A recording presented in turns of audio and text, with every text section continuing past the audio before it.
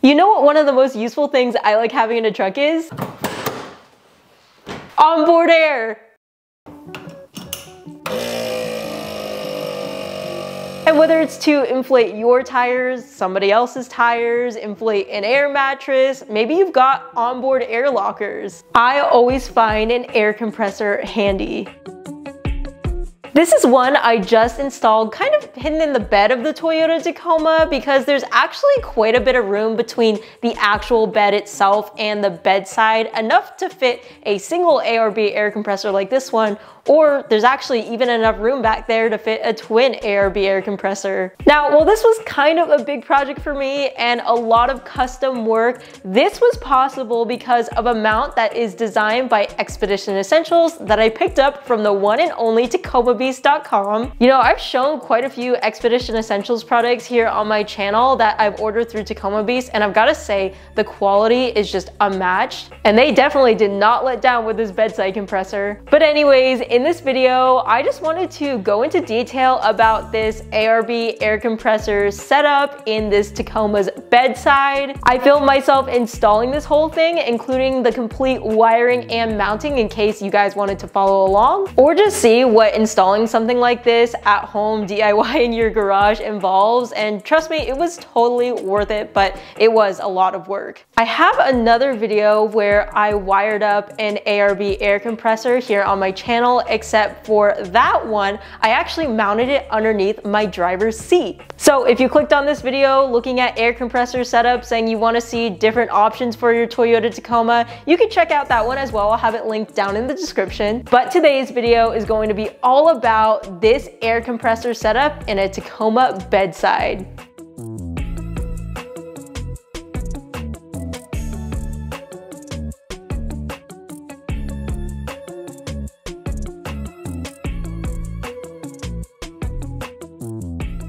So before I talk more about the compressor stuff in this video, I just have to stop here for a moment to say a huge, huge, huge, huge, huge thank you to you guys. This channel recently hit 100,000 subscribers. It's absolutely insane to me. And ever since it like hit me that 100,000 people have hit that red subscribe button below my videos, I honestly just, I don't I still don't understand why. I feel like I just have this maybe unhealthy obsession with the Toyota Tacoma and I'm so glad that so many of you guys share that with me too. But yeah, it's a little unbelievable to me still. There's like a couple people at my work who also have third gen Tacomas and sometimes during our lunch breaks or after work or when we see each other walking in, we stop and we show each other our latest Tacoma mods and it's just like really fun geeking out about that. And I kind of feel like my YouTube channel is a digital format of that. I mean, it really just is me in my garage showing you guys what I've done to my Toyota Tacoma, me on the trails with my truck showing you guys the adventure and trying to kind of bring you guys along. You know, I know my videos aren't perfect. I've made plenty of mistakes here on my channel before. I'm not an off-road racer. I'm not a mechanic. I don't work for Toyota, although that would be really, really cool. I'm honestly just your average Toyota Tacoma owner like most of you who watch my videos who just has fun doing this sort of stuff in her free time. So it means a lot to be part of this community and thank you so much for watching and supporting my videos. Now with all that being said, I do want to say that my friends at Havoline reached out to me when I hit 100,000 subscribers and offered to do a giveaway. And I wanted to spend this portion of the video to explain that if you're interested because it's actually a really, really great prize. They are giving away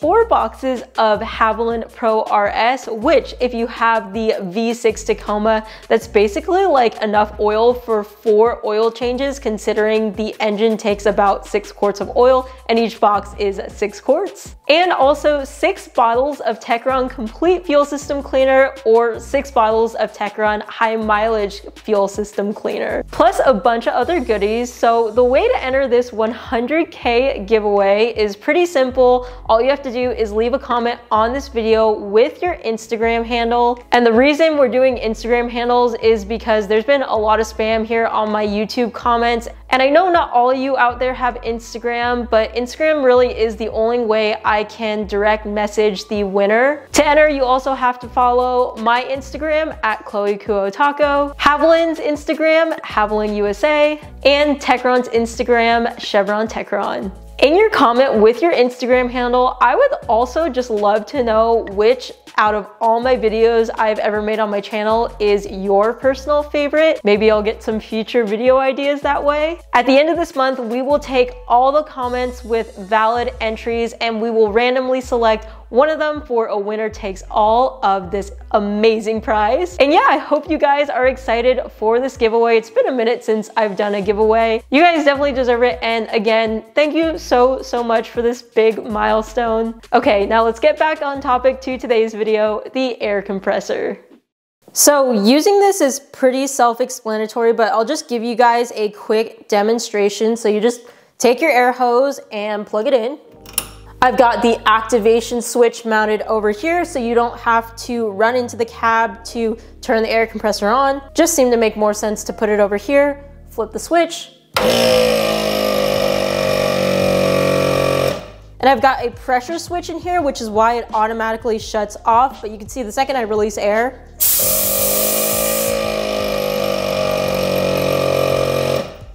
it fires back up until pressure builds up again, of course. So we'll turn it off. Release the air.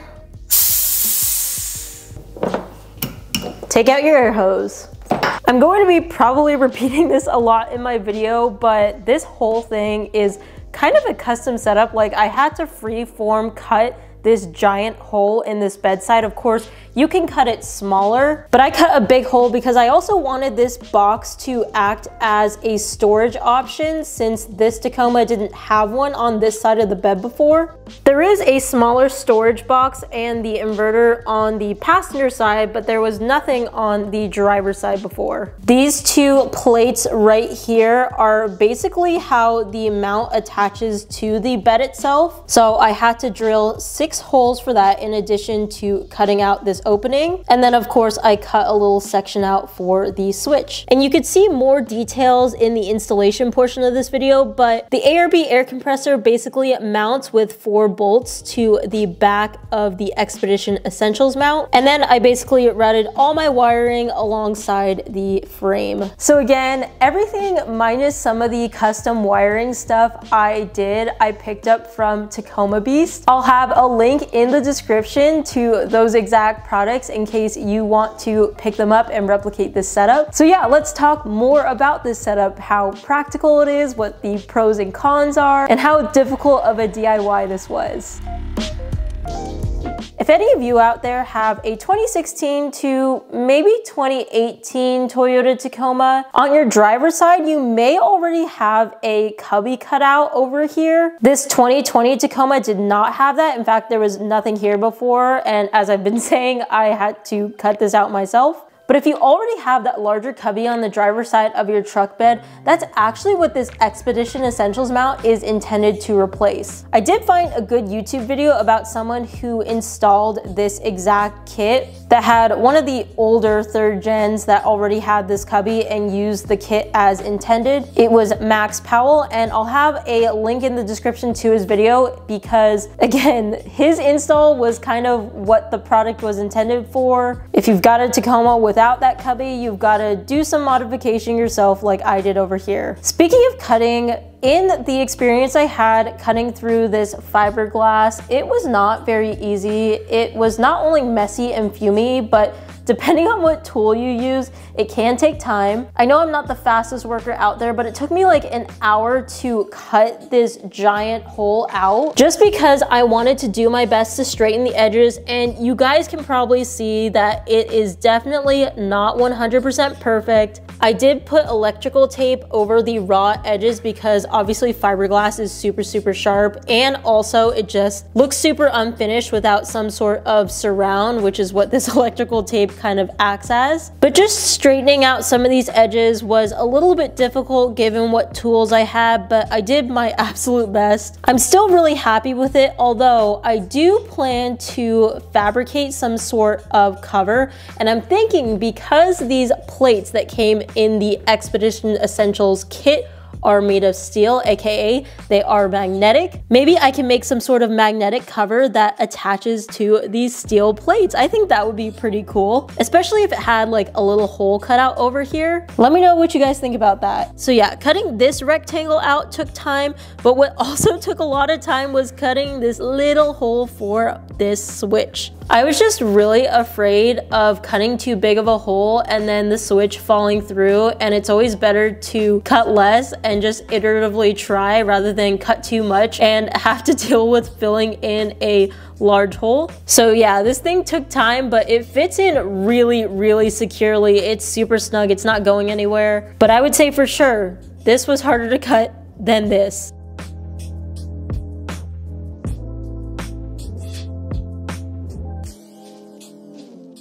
Looking at it like this, you might be saying, wow, Chloe, those are a lot of NPT fittings. Why couldn't you just put this main piece that the hose connects to directly into the manifold? Well, yes, I realize there are a lot of fittings on here, I didn't directly connect this hose fitting into the compressor because I wanted to add the pressure switch I talked about earlier. The pressure switch right here basically just shuts the compressor off when it hits a certain pressure, which I think is up to 100 PSI just based on this label. I honestly suggest having one of these pressure switches in your setup, depending of course on what you're using your air compressor for. In my own experience, this single air compressor doesn't generate like a lot of heat, but the kit comes with a pressure switch, so why not install it? The compressor won't heat up as much and it'll turn off when you don't need to use it.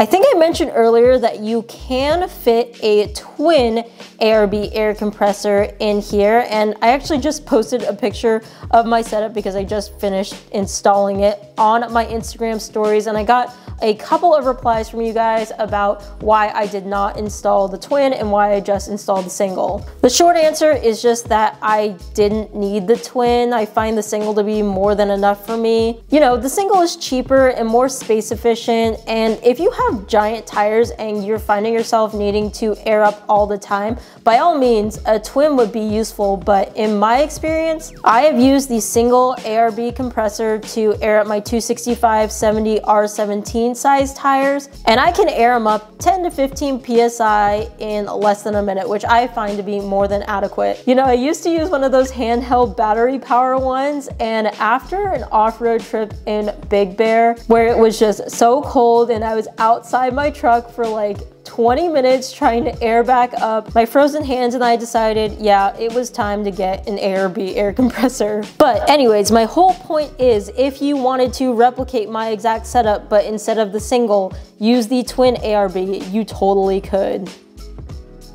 Okay, so now on to some of the pros and cons for this setup. And I will say, I can't right now give it a long-term review because I just installed it. But having talked to other people who installed this exact same Expedition Essentials box in their bedside for air compressor use. I do have some stuff I can talk about based on their experience as well. So first, super easy access back here on the driver's side. You can just reach over, plug your hose in, it essentially utilizes dead space unless you had the bed cubby and we're using that for something else already. And because it's mounted here in the bed or the back of the truck, when you fire it on and have it running and you've got passengers inside your truck, it won't be too loud for them. Now, again, I do have that air compressor underneath my driver's seat in my TRD off-road. It is loud, people could hear it for sure, but it's not gonna hurt anybody's hearing. But of course, course, if you mount it back here in the bed, really you're not gonna have that sound issue come up whatsoever. But now onto some cons. I predict, and based off of talking to other people, that this thing will collect quite a bit of dust. So I am hoping to make that cover I was talking about soon. But luckily, the good thing is this truck has a tonneau cover. So that'll help the dust issue coming from the inside a little bit.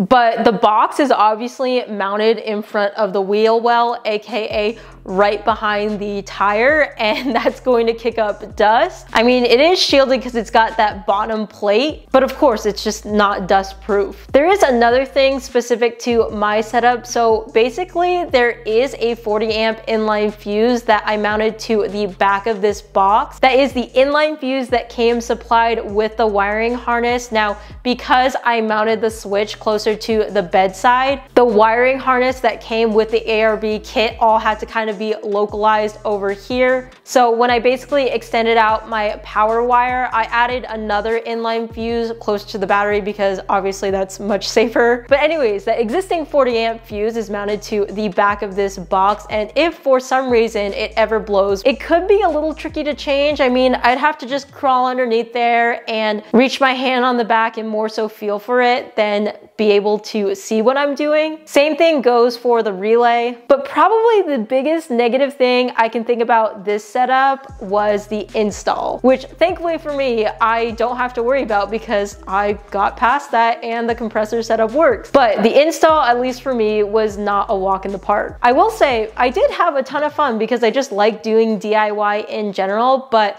if I were to put all my hours I spent on this project together, I think I spent about seven hours hours. Now keep in mind, when I do these DIY projects, my time estimate probably isn't that accurate because I'm also filming a video and it takes time to set up the camera and I can't really figure out how much of that time is the install and how much of it is just filming. But you know, in general, this project for me was a little bit difficult because I am not the best at mounting and I really wanted to try my best to make sure everything looked as clean as possible, which is why I spent so much time cutting. I wanted everything to look straight. I knew I wasn't gonna get like a perfect OEM factory finish, but I wanted to just do my best and that obviously takes time. And then of course there was the wiring that took a lot of time. Now there are harnesses that you can buy to make this more plug and play friendly, but for me, I just found it easier to use what I already had at home and take this project as an opportunity for practicing some of my wiring and electrical skills too. You know, it is easy to do a sloppier job and just get this thing to work if that's your intent, but you you do want to be really careful with the wiring,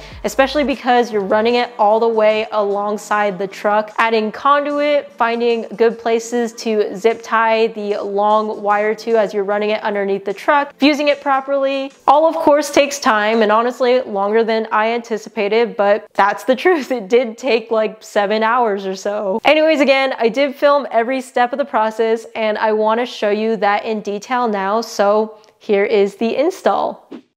Everything I use for this project will be linked in the description. The air compressor and bedside mount can all be ordered on Tacoma Beast, but you'll see I also use miscellaneous fittings, butt connectors, heat shrink, wires, conduit, add-a-circuits, etc. because I wanted to DIY my way through this. You can alternatively order an ARB pump up kit and already assembled wiring harness if you want to make this a little bit easier though. Okay, so let's get started. By the way, check out this new tool bag and tools I got from Boxo and Decked. They recently had a collaboration where they made this awesome set with 80 tools and the whole bag fits in one of my deck drawers. This was my first time using Boxo tools, but they're really nice. Like this ratchet had a lot more teeth than my Harbor Freight one you guys normally see me use. So breaking in this new set of tools on this project felt awesome. So now I'm just moving the manifold on the compressor by loosening these set screws with a 4mm Allen wrench.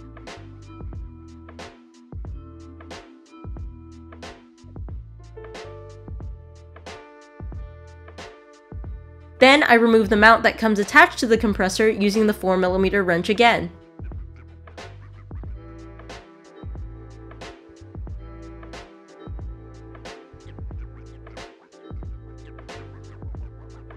And in the ARB kit, there are bolts, nuts, and washers you can use to mount the compressor mount to the Expedition Essentials box.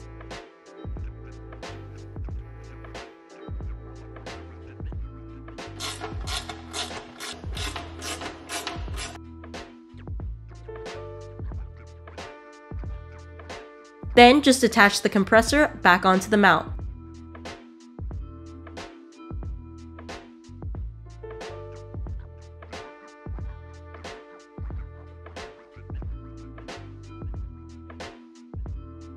Now it's time for some wiring.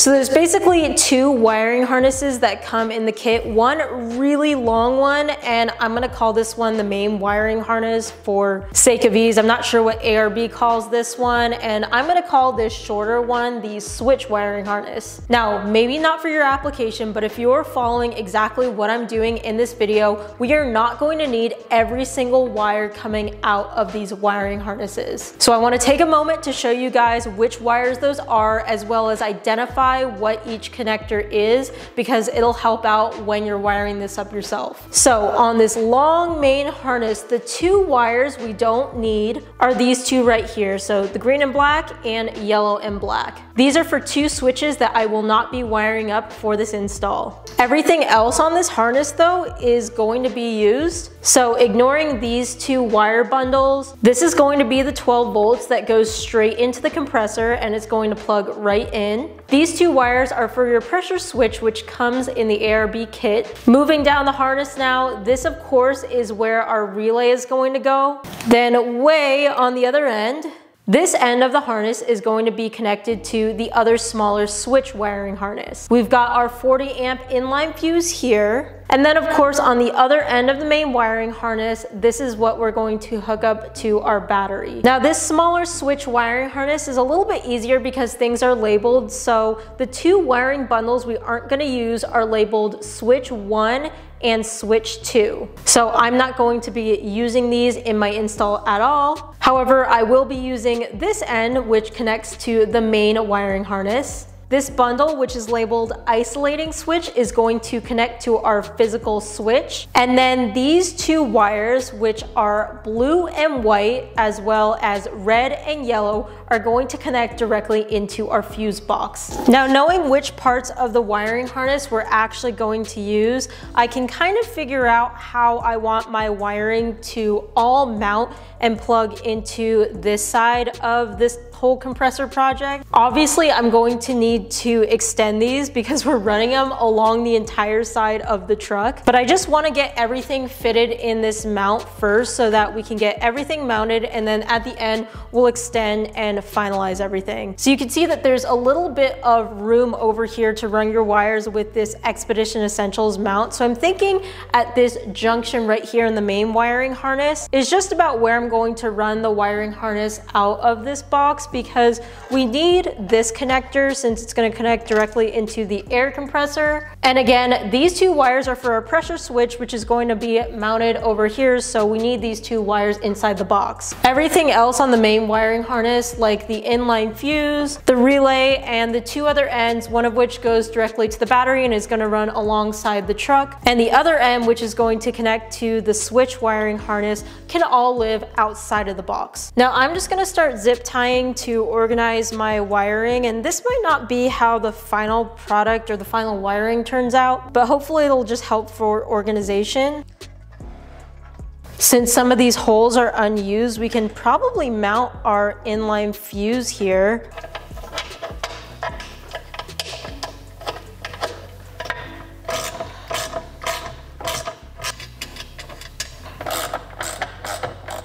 Now we're going to connect the long wiring harness to the short one, so you kind of have to put the terminated wires from the switch harness into the provided white connector and then match the colors up, so that's what I'm doing here.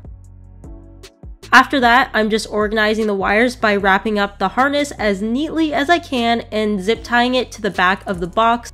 You can put them somewhere else, but this just worked for me and I was able to utilize the pre-drilled holes to hold my zip ties.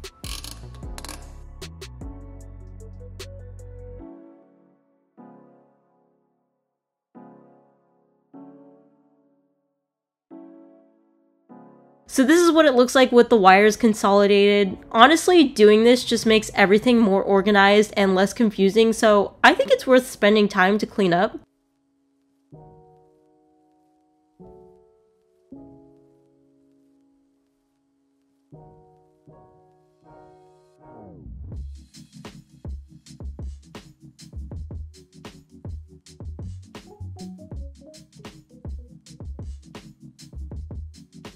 I knew I was going to need to extend my wires so that they could reach the engine bay, so here I'm just starting out with the two wires that'll end up getting run to the fuse box, and I'm just soldering and using heat shrink because I ran out of 14 gauge butt connectors which would be faster, but I didn't have them. So with these two wires which are for the switch, the blue white one is actually one I didn't end up using because I think it's just for illumination according to the ARB manual, but the red yellow one on the switch needs to go to the fuse box box, but more on that when we get to that step in the video.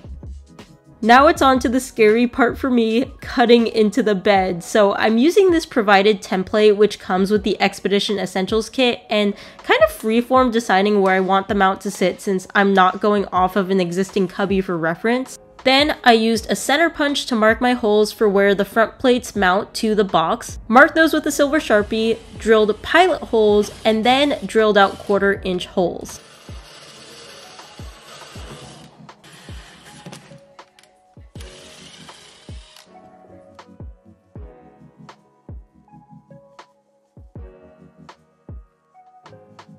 Now it's time for the stressful part, cutting the big holes. So you can make this as big or small as you want, but obviously you want it big enough so you can access the opening to plug your air hose in whenever you need to.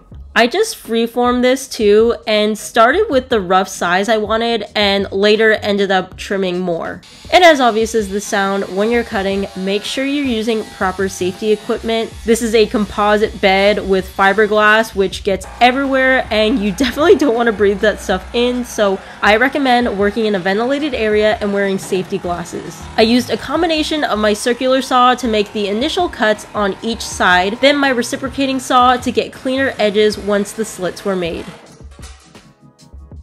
Now obviously this is far from perfect and you'll see I ended up going around a second time but this first cut is just to get the box initially mounted and to see where everything kind of sits. Now here's where you'll need someone else. Use their extra pair of hands to lift the box and compressor up into place from underneath the bedside, and then use the provided two vertical front plates and bolts from the Expeditions Essentials kit to initially mount the box using your pre-drilled holes. I used a 4mm Allen wrench for the provided bolts, and they should thread into the box when you have everything lined up. And by the way, I really like the way these plates were designed because the bolts sit flush. Nice touch by Expedition Essentials. When you can see how everything sits, that's when you want to make your fine-tune adjustments. So here I am cutting some extra on one side. I'm just trying to even things out relative to where the mounting plates are. And I'm also just generally trying to straighten out some of my edges. And then once you're done with that, of course, remount the box and compressor.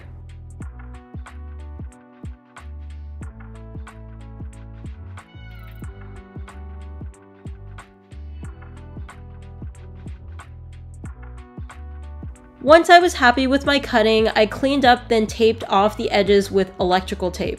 I'm sure you guys out there are better fabricators than me and could probably come up with something cleaner, but I did think the electrical tape didn't look half bad at all.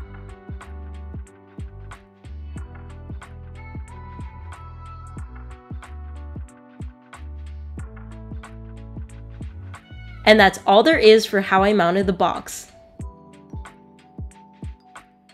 Now onto the wiring again, I already extended out the switch wires but not the power and ground 10 gauge ones, so I'm stripping them back and connecting the wires using these watertight butt connectors.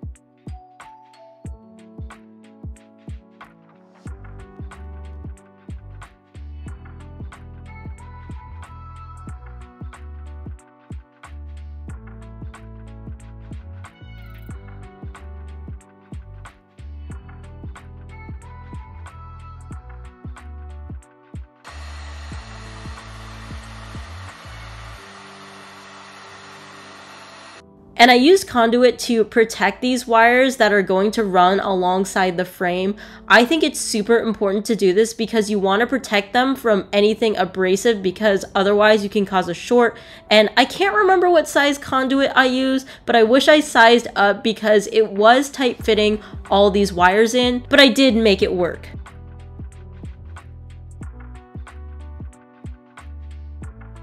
Then I basically just took zip ties and ran the wire alongside my frame following other factory wires. This was tricky on the driver's side because obviously the gas tank is on this side, but again, following the factory wires helps out a lot.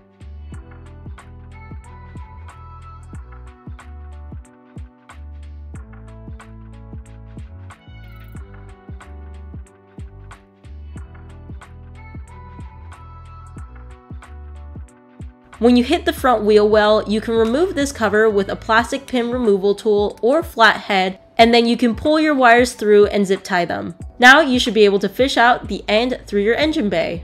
So taking my extended red-yellow switch wire, I connected the end to an add-a-circuit, and then I tapped into the 10 amp EFI number 1 fuse.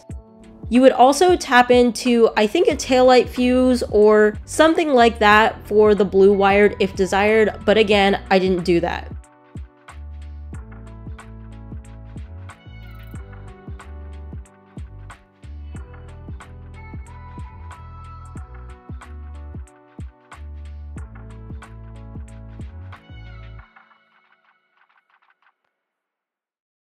Now, I mentioned earlier that even though there was an inline fuse on the ARB harness, I wanted to fuse close to the battery too, so I added another 40 amp inline fuse and just used another butt connector for that. I added on some eyelets to the ground and power 10 gauge wires and hooked the red up to my 12 volt battery and black up to my chassis ground.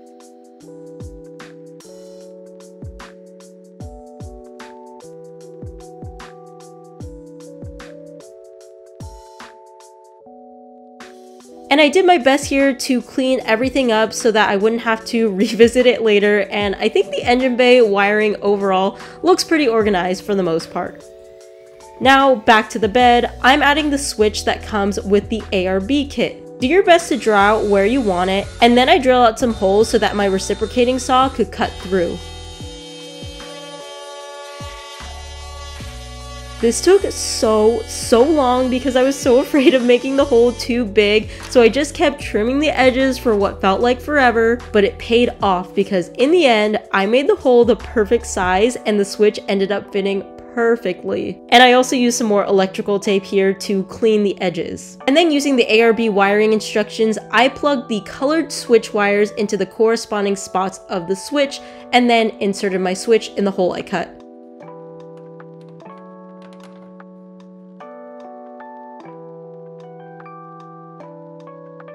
We're almost there onto the last step, which is to add the provided filter onto the side of the air compressor, which for me is now the top. Then I'm taking the fittings and some Teflon tape to add my pressure switch and the hose fitting.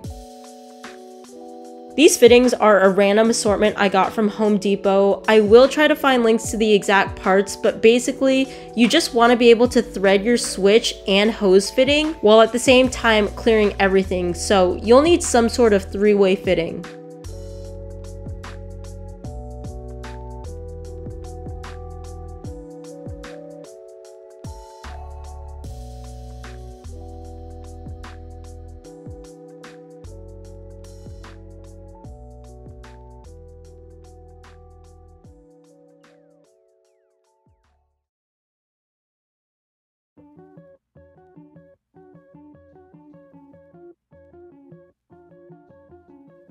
Make sure to plug the blue and red wires into your pressure switch and the polarity doesn't matter here. To make sure all of my wiring was correct, I took my multimeter and measured the voltage across the terminals out of my ARB harness when I flipped the switch, and once I saw a good voltage, I knew that the wiring was good, so I plugged my compressor into the harness, flipped the switch again, and everything fired up. I was so, so happy to hear that sound, and after this install, I needed the rest of the day to relax. Thank you guys so much for watching, and I hope this video helped if you wanted to install something like this. Don't forget to enter the giveaway if you're interested, but anyways, I hope I will see you guys in the next video. Bye!